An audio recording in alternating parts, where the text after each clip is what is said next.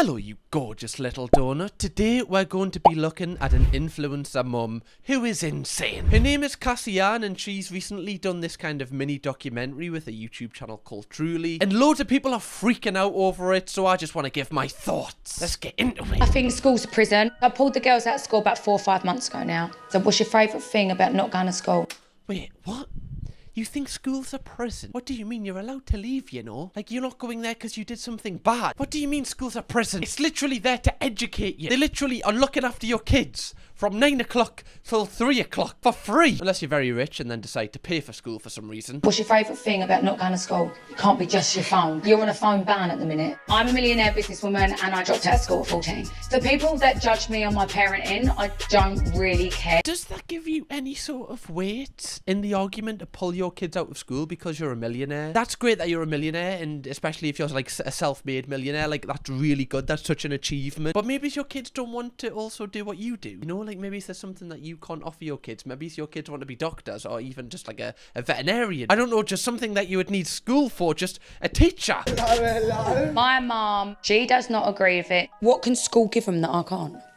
Education. Her mum's like, literally, education. What do you mean? That's the stupidest question ever. Like, I get this, okay, that you want to like take control and you want to steer your kids in like the right direction. And I will admit, in school, there's a lot of things you get taught which you probably don't need. But there's a lot of stuff in school like.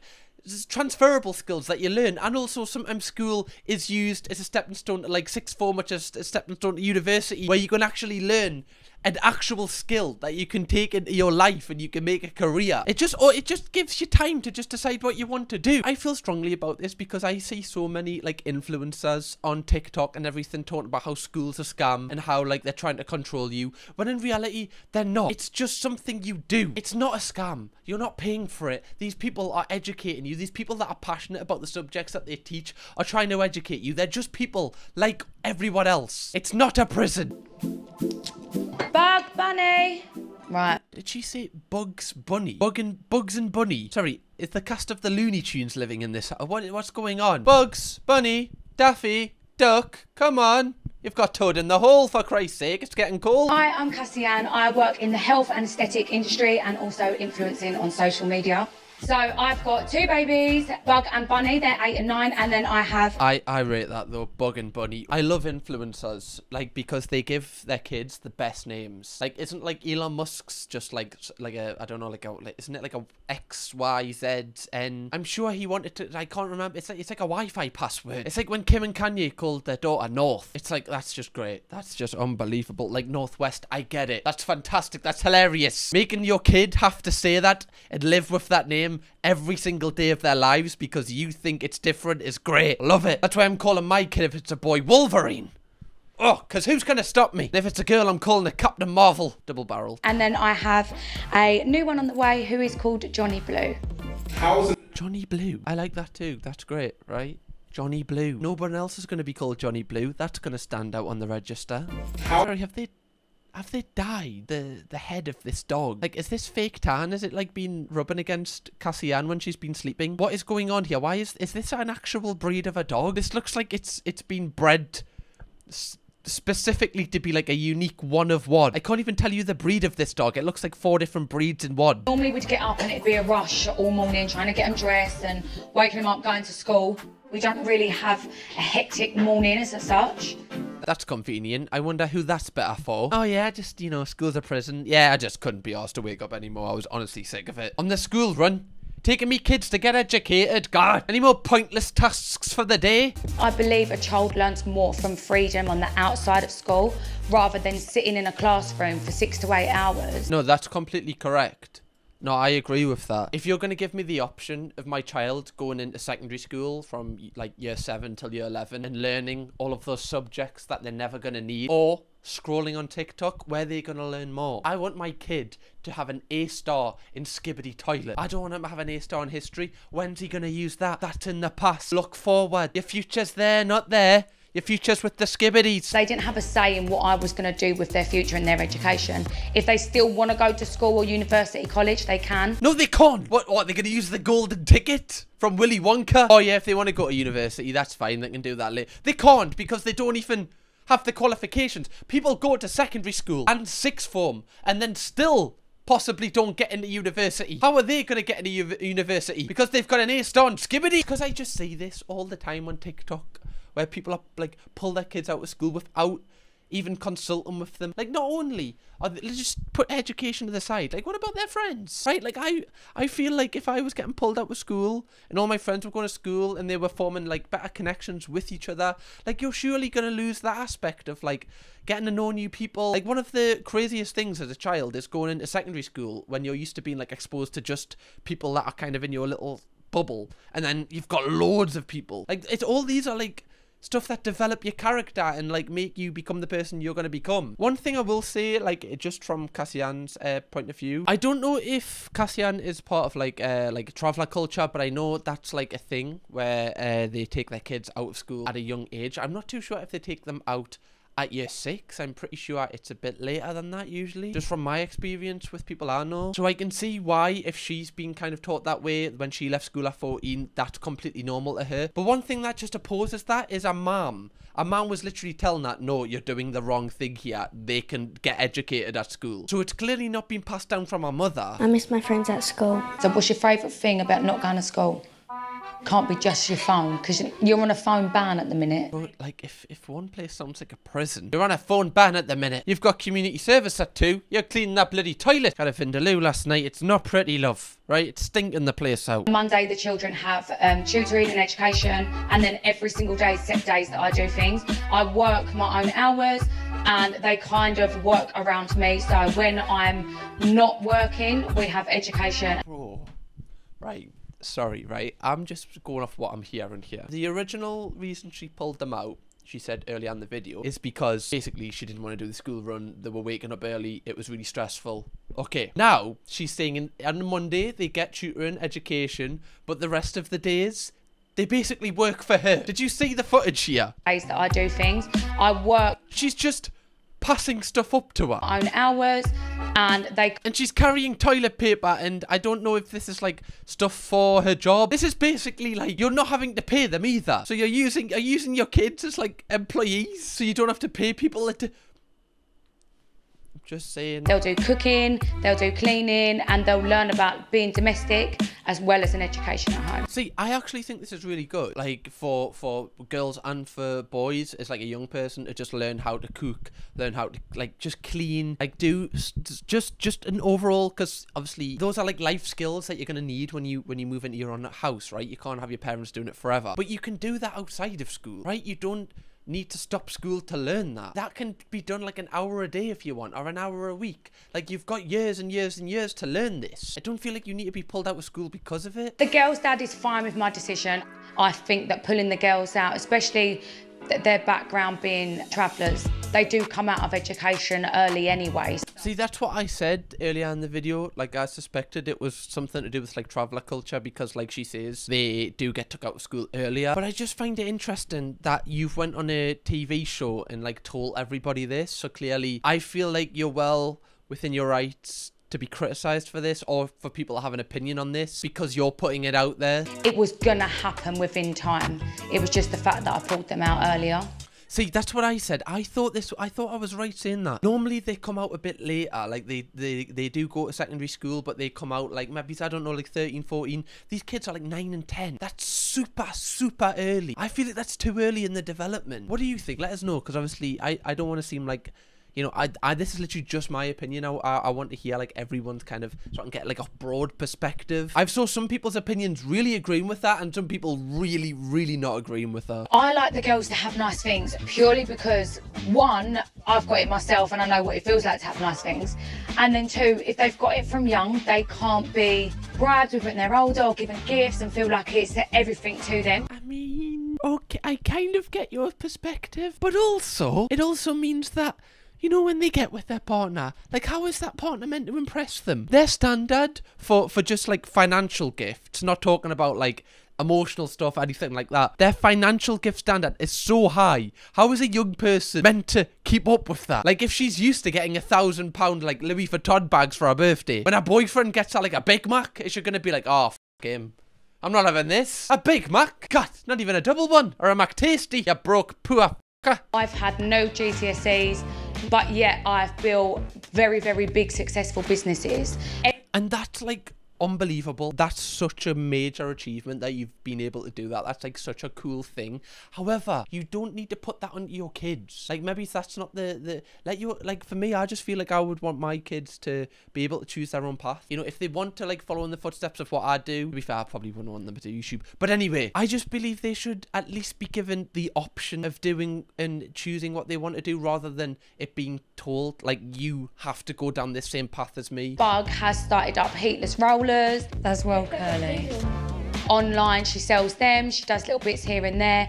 I'm Shut up. Isn't she like 10 or 9? Can you imagine being on, like deep up and you you try to whittle down like a like a 10 year old by like a quid for like some hair rollers. My lord. Also what happened to just letting kids be kids? Like i have this fear. You know like with how social media like it, it at the minute like it it like forces you to believe that you need to be successful as like quickly as possible and have loads of money as young as possible because you see these people like doing so much so good and and and, and living like in like dubai and everything at your age and it makes you feel terrible about it. You don't need to be like that. It's fine. To just go to school. It's fine. Like, I don't know why you want kids who are 9 and 10 to be, like, an adult straight away. Like, there's time, there's, like, they, they do that for the rest of their lives. Like, just let them be kids. God, guys. Sorry. Very passionate about this. That's why I wanted to do this video. I get my lashes done every few weeks. I like getting my lashes done because it gets the vibe.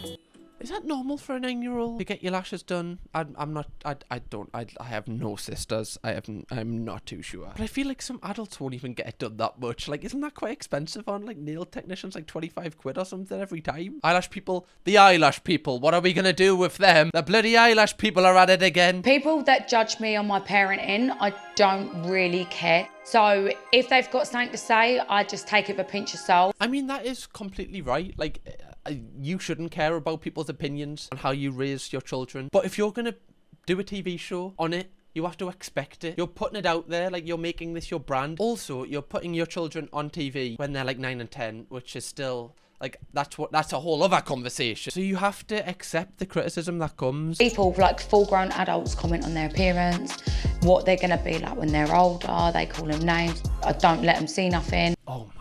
Right, okay, this this one's like a layered one. The fact that people comment on little girls' appearance is like terrible. What are you doing with your life? Like stop doing that. But as a parent, why would you even put your child in the in the situation where they're going to be constantly exposed to people that they don't know. Why would you do that? When I have a child, I am never letting them be on social media until they're, you know, older.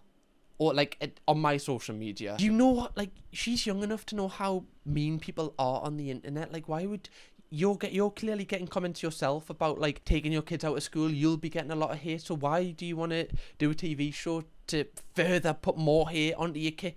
I just find it a little bit odd. Also, when she's on about putting her kids in a bubble, like I guess that is kind of good. Like as I've never had a kid, but I imagine you want to protect them like so much because they're like a little you. But if you, how long are you going to keep them in a bubble for? Because they're going to eventually somebody's going to say something to them or show them a comment about themselves, and that's going to hit so much harder when they're used to being in a bubble and they read that for the first time.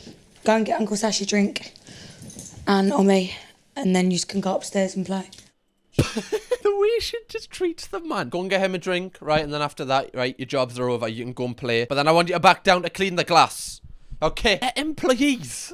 I'm telling you. She just gets them to do all the stuff she doesn't want to do. Life is about learning the negative things. For children, it's important these days, I think, to learn certain skills you cannot give them at home. Exactly. Thank you. The first person in this video that just speaks a little bit of sense. She's exactly right. Like, you know, unfortunately, kids do have to learn like bad things that happen as well. So then they can be, they can protect themselves from the things that happen. Like you want kids to learn like safeguarding things like at school that, so they do, can avoid stuff in the future. Otherwise they're going to be naive. Like the first time a weird person messages them, uh, they're not going to know what to do because they've never been like, you know, taught like oh this this is kind of just ignore this I believe taking them out of school because of your beliefs is right, but the timing is wrong.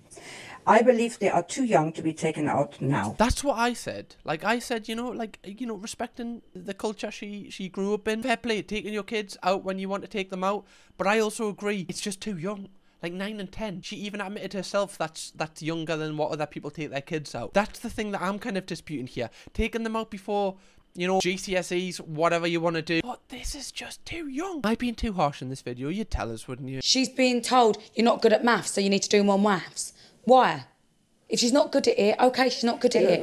But this day and age, you've got calculators. That is true, okay, if you're going to the shop and you need to calculate something. Fair play, right? You've got a calculator. But it's not just about that. It's about just learning transferable skills. Like, maths also has a lot of, like, problem solving. That's a skill that you can't like just really learn. I feel like she's kind of like thinking of like Pythagoras as like face value and everything like that, and like tan, cos, and sin, whatever it is, just stuff that you really don't use, but there is a lot that you do use. The thing I wish I'd done before was leave school earlier. At the time, it wasn't out of choice. I wish it was out of choice. Honestly, mate, right? I just wish I could have got out of school earlier so I could have grew this quiff longer. I would have had the longest quiff in Essex. If they just let me leave two years earlier, I would have been able to condition it twice a day. You got privately educated with beauty and stuff. Everything was privately done, Yeah. but you were in education. The same goes with See, that's another thing that she left out. It's like, oh, I left 14, no GCSEs, no money, built this. It's like, yeah, but your mom's just said there you, you were getting educated, privately educated. You weren't going to like college where everyone learned in the same classroom. You're probably getting like one to one, you know, privately paid training. So you've got a head start on other people. So that just makes me think like your ideology against school isn't. Is kind of even more flawed now, in my opinion. do I ever see Johnny going to university? Absolutely not. If he wanted to, he could. But what's wrong with that? But I'm not saying nothing's wrong with it, but I'd rather him go down his own path. But then you've seen you'd rather him go down his own path, but he won't go to university. So what happens if that is his own? You see, you're not like letting him have his own path. You're directing his path, but just pretending that this is what he wants. The guy's. The baby's not even born yet. And you're like, yeah, he's not going to uni. You can argue whether university is actually, like, you know, great for what you want to do. But you should at least, when you're born, you know, have that to aspire to if that's what you want to do. Children are going to have a lovely life and do whatever they want, have whatever they want. To trolls that have a lot to say, stop scrolling through social media and having something to say about a woman that's pregnant, that's got two children, that is just trying to better their life. I actually think she's probably a really good mom in terms of like how much she loves her children. I imagine she really does. Like she gives me the vibe that she would be a really caring mom. But again, when she's like, "Oh, you, you can't say anything about this," it's like, yes, people can because you're doing a TV show. You're getting paid thousands of pounds to put your story. People have a right to say something. That's what comes with getting that large paycheck. I learned cooking, cleaning, and still went to school. These poor girls. Exactly. How would she even think they could go to university when they won't be qualified because they don't go to school now? Am I missing something? You know, I just hope that the the girls are happy. As long as they're happy, that is the main thing. But I just don't feel like you should put this on the internet and then kind of complain when people complain because I will admit this is a little bit outrageous. Okay, donuts, I feel like this was more of like a kind of like serious kind of opinion video. I just wanted to do it because I kind of feel strongly about it because I see so much on social media of this opinion and I feel like you never hear the opinion of like actually school's okay and you don't need to be a millionaire at like 12 it's okay to just live a normal life like everyone else. Anyway donuts if you want to watch another video from me click this video right here because it'll entertain you and why don't you just go on a little binge? Enjoy yourself. Cam Kirkham, baby.